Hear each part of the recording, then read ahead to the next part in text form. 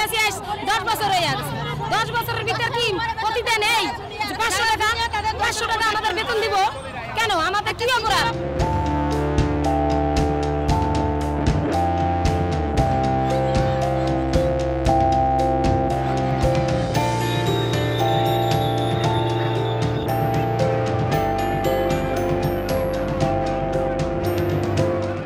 দাবি হলো ষোলো হাজার টাকা।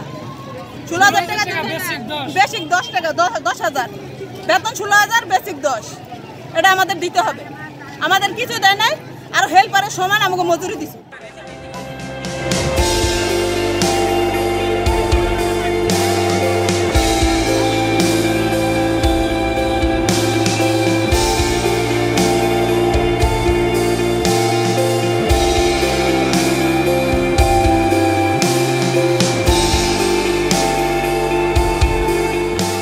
অবশ্যই এই বিষয়টি সক্রিয়ভাবে ইতিবাচকভাবে বিবেচনা করছেন এবং এই প্রেক্ষিতে শ্রমিক ভাই বোনদের আমার আহ্বান হচ্ছে আপনারা শান্তিপূর্ণভাবে কারখানায় ফিরে যান এবং আপনারা উৎপাদনের যে কার্যক্রম সেটি চালু করেন।